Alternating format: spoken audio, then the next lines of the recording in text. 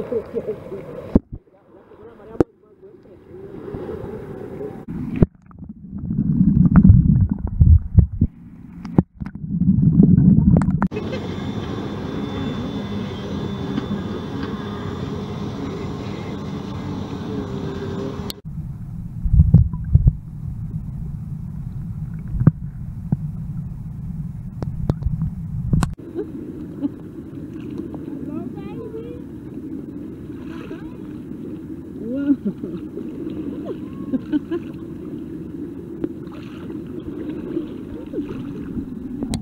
Shannon Kring got Goddess Kring in Seattle, and it's fun being in the lake. There's so many boats in the water today that the currents are very strong. Shannon Kring at Goddess Kring in Seattle, and because there's so many boats in the water, the currents are really strong.